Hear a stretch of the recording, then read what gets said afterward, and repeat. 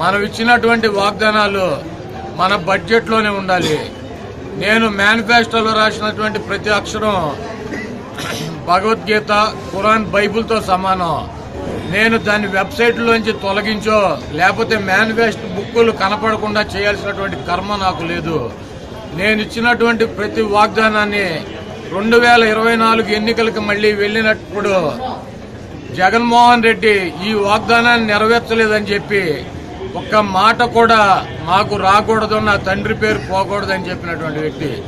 నేను చెప్పా రాజశేఖర రెడ్డి గారు ఇందిరమ్మ ఒకటి రెండు మూడు అని ఫేజులు పెట్టి ఆ ఫేజుల్లో గ్రామాలు వార్డుల్లో థర్టీ త్రీ పర్సెంట్ జనాభాకి ఇళ్ళు ఇచ్చారు పెన్షన్లు ఇచ్చారు అట్లా సంవత్సరం సంవత్సరం చేశారు. మనం కూడా అధికారంలోకి వచ్చినాక సంవత్సరం సంవత్సరం చెయ్యొచ్చు. కాబట్టి మీరు డ్వాక్రా మహిళలకు ఉన్నటువంటి రుణాలని నాలుగు తఫాలుగా ఇస్తానని చెప్పి చెప్తున్నారు. మరి ఎస్సీ బీసీ మైనార్టీ ముస్లిం మహిళలకి డెబ్బై ఐదు వేల రూపాయలు నలభై ఐదు సంవత్సరాలు దాటిన వాళ్ళకి వైఎస్ఆర్ చేయూత అని చెప్పి ఇస్తానంటున్నారు. దాన్ని కూడా నాలుగు విడతలకు ఇస్తానంటున్నారు. మీరు చెప్పమాకన్నా నాలుగు విడతలు అని చెప్పి. అధికారంలోకి వచ్చినాక నాలుగు విడతలకు ఇవ్వచ్చు అంటే నేను చాలా స్పష్టంగా చెప్తాను చేసేది. నేను చంద్రబాబు నాయుడు లాగాను ఇంకోలాగాను దొంగ వాగ్దానాలు చేయాల్సినటువంటి కర్మ నాకు లేదు అని చెప్పి నీతిగా నిజాయితీగా ఆయన చేసేటువంటి క్రా- కార్యక్రమాలని ప్రజలకు చెప్పి వాళ్ళు ఆశీర్వదిస్తే ముఖ్యమంత్రి స్థానంలో కూర్చుందాం. లేకపోతే వాళ్ళు ఏ స్థానంలో కూర్చోబెడితే ఆ స్థానంలో కూర్చోవడానికి సిద్ధం అని చెప్పి చెప్పినటువంటి గొప్ప నాయకుడు జగన్మోహన్ రెడ్డి గారు అటువంటి నాయకుడి యొక్క అడుగుజాడల్లో ఈ వైఎస్ఆర్ కాంగ్రెస్ పార్టీలో మేము నడవటం మేమందరం కూడా చాలా గర్విస్తున్నాం. మాకన్నా జగన్మోహన్ రెడ్డి గారు వయసులో ఒకటే చిన్నాడు. ఇంకా అన్నిట్లో కూడా మాకన్నా వెయ్యి వంతులు వెయ్యి శాతం మరి ఉన్నతమైనటువంటి ఆలోచనలతో మోసం చేయకూడదు దగా చేయకూడదు కుట్ర చేయకూడదు పేద ప్రజలు ఓటేసేటప్పుడు ఈ రాష్ట్రంలో వాళ్ళకి సంక్షేమ కార్యక్రమాలు కార్యక్రమాలు అందుతాయి. మరి రైతులకి ప్రాజెక్టులు కట్టి నీళ్ళు ఇస్తారు.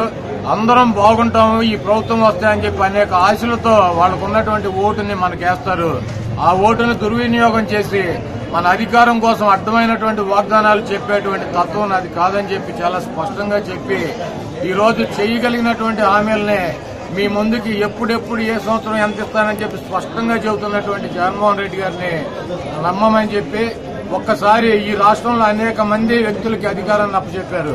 దాంట్లో దొంగలు ఉన్నారు సన్నాసులు ఉన్నారు అబద్దాలు చెప్పేటువంటి అవినీతి పరులు ఉన్నారు ఒక్కసారి రాష్ట్ర ప్రభుత్వానికి జగన్మోహన్ రెడ్డి గారిని నడపడానికి వైఎస్ఆర్ కాంగ్రెస్ పార్టీకి మరి ఓటు వేసి ఫ్యాన్ గుర్తు మీద ఒక్కసారి జగన్మోహన్ రెడ్డి గారికి అవకాశం ఇవ్వాలని చెప్పి ఈ రాష్ట్ర ప్రజానాయకాన్ని వేడుకుంటున్నా. అదేవిధంగా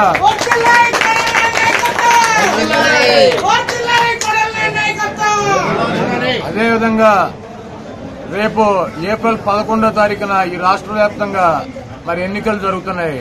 దాంట్లో మరి నీతివంతుడైనటువంటి నిజాయితీ పడినటువంటి ఆడిన మాట తప్పనటువంటి అబద్దపు వాగ్దానాలు చెప్పనటువంటి మరి జగన్మోహన్ రెడ్డి గారు ఒక పక్క అధికారం కోసం పిల్లనిచ్చినటువంటి మామని చంపటానికి కూడా వెనకాడినటువంటి చంద్రబాబు. అధికారం కోసం అర్థమైనటువంటి వాగ్దానాలు చెప్పగలిగి చేయగలిగినటువంటి చంద్రబాబు నాయుడు. అధికారం కోసం ఈ రాష్ట్రంలో ఉన్నటువంటి నిరుపేదల్ని మహిళల్ని పేదల్ని ఎస్సీల్ని బీసీలని మైనార్టీలని అందరినీ కూడా నట్టేట ముంచగలిగినటువంటి సామర్థ్యం ఉన్నటువంటి చంద్రబాబు ఒక పక్క. అధికారం కోసం ఎవరి కాళ్ళైనా కూడా పట్టుకోవటానికి ఎవరి సంఖైనా కూడా నాకటానికి వెనుకాడినటువంటి చంద్రబాబు ఒక పక్క. కాబట్టి రాష్ట్ర ప్రజలు ఆలోచించుకుని ఒక్కసారి జగన్మోహన్ రెడ్డి గారికి అవకాశం ఇచ్చి ఆయన తండ్రి పరిపాలన చూశారు. ఎక్కడా కూడా ఎవరికి లోటు లేనటువంటి పరిపాలన చేసినటువంటి వ్యక్తి రాజశేఖర రెడ్డి గారు. కాబట్టి ఒక్కసారి జగన్మోహన్ రెడ్డి గారికి రాష్ట్ర ప్రజలు అవకాశం ఇవ్వాలని చెప్పి ఆయనకి ఫ్యాన్ గుర్తు మీద ఓటేసి గెలిపించాలని చెప్పి మనస్ఫూర్తిగా కోరుతూ సెలవు తీసుకున్నాను